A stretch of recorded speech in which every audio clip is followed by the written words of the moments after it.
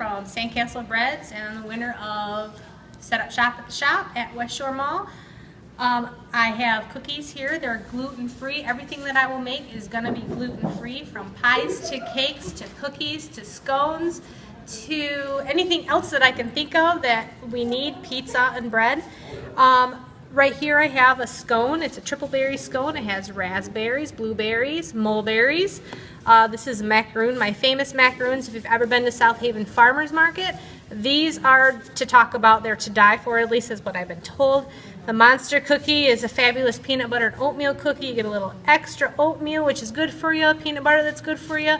Yes, it's a cookie. There's a little bit of bad. Um, I have regular peanut butter cookies for those who have a dairy allergy. Um, I also have a peanut butter brownie, which will be at the uh, Vineyard um, in South Haven, available to buy. And last but not least, the gorgeous no bake that you see at Meijer's grocery stores, but you can't have one. Now you can. The certified gluten-free oats are in the cookie. Thanks, and I hope you come and visit my shop.